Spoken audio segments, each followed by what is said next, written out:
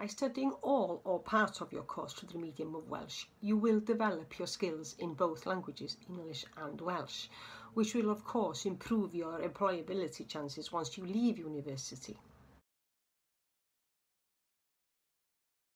Remember, your Welsh doesn't have to be perfect. We, we as staff are here to support you and to, and to help you improve your language skills in, in, in either written work or in, in spoken Welsh.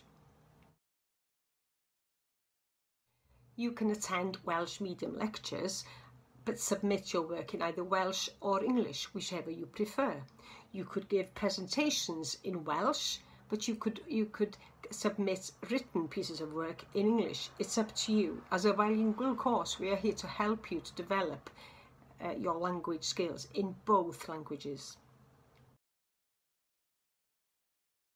Our teaching team is made up of members of staff with various Welsh language backgrounds. We have uh, some members of staff who have been born and brought up through the medium of Welsh.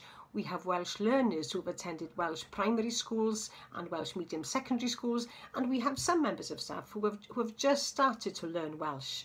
We're all here to help and to share experiences. So to finish off, I really hope that you enjoy your time here studying at Bangor University and with the team here at Childhood and Youth Studies in the School of Education. We're looking forward to have your company and to get to know you